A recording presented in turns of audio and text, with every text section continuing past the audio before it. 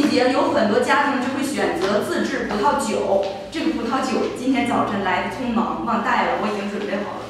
那么有就呃有很多学生就参加过这个过程，在家里头做过这个过程。那么就请参嗯制作过葡萄酒的同学讲一讲，在制作葡萄酒的过程中有哪些细节是需要我们注意的。学生就会说出葡萄不能洗得太干净，要保留野生的酵母菌。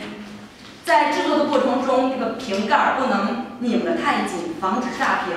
而且我们要经常啊前期前期要经常翻动一下，是为什么？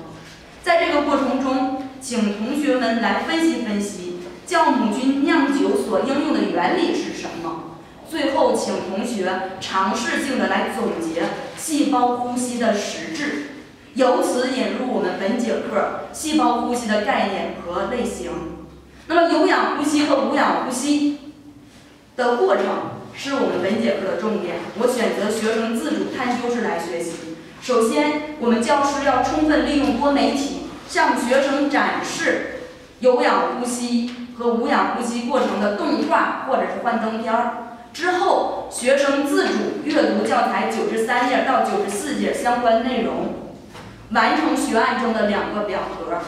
在学生完成表格的同时，教师要做观察，对有嗯有填写问题的学生针对性的记忆。最后，以展示的形式，利用多媒体展示的形式进行展示纠错，在展示和纠错的过程中，加深并确定有氧呼吸和无氧呼吸的过程以及物质变化。